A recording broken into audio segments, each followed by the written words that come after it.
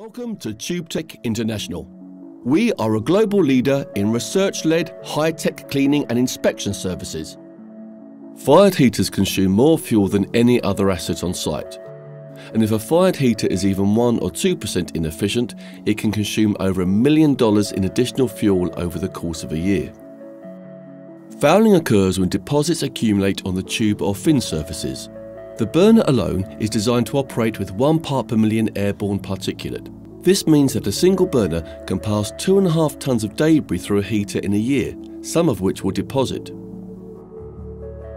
Airborne debris is sucked in from the surrounding area. In a desert location, dust will make up a large proportion of the waste. If surrounded by agriculture, waste from harvesting will be drawn in. And in an industrial location, waste products from surrounding plants will also make up the debris being sucked into the asset. Just one of the side effects of fouling is an increase in emissions, something which, if excessive, can be liable to government fines. Higher fuel consumption results in a higher stack temperature and reduced heat transfer. Higher temperatures cause heat stress on tubes, creating uneven expansion and irregular heat distribution, which potentially leads to tube failure. All of these things negatively impact plant profits to the tune of millions of dollars. Traditionally, there are two commonly used offline cleaning methods chemical and dry ice blasting. Chemicals can be used when an asset is online. However, it's important to point out that without knowing what the fouling is or how it will react, chemicals can compound the issue of fouling, creating hotspots in areas that the chemical has not managed to penetrate or sometimes managed to reach at all. It's also a fact that at extremely high temperatures, everything has been burnt down to an inert state. And in an inert state, a chemical will not have a reaction. During a shutdown, the refractory lining of the convection section can become saturated with waterborne chemicals, which may result in changed high temperature properties of the refractory, leading to premature failure. So, what about dry ice blasting? Well, the issue with dry ice blasting is that the nozzle is large, so it simply can't fit between the rows of tubes or reach the tubes in lower convection banks. And if it can't fit, it can't clean. A solution to online cleaning to mitigate the issue of limited practical access is to utilise the revolutionary Hot-Tech thin diameter lance system, which has been developed to maximise effectiveness to reach approximately 50% of the tube surface.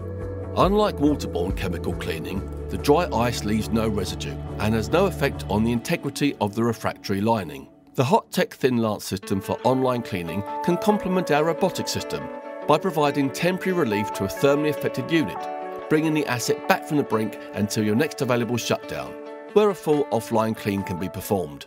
Our mission is to deliver unrivaled results, so we've invested extensively in R&D to develop a unique robotic convection section cleaning system which is able to clean more than 90% of the surface area of the asset, regardless of fouling. It's a game changer.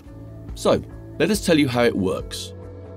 When you work with TubeTech, innovation starts at the estimation stage with our advanced robotic control system Using your information, including tube dimensions, fin height, horizontal and vertical tube spaces, tube support height and access holes, we can analyse and accurately calculate the time required to clean your furnace to the optimal level.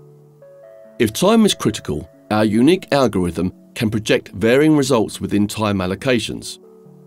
This enables us to work with clients to manipulate timings and techniques to calculate the best result, such as using two robots concurrently or adapting lance positions.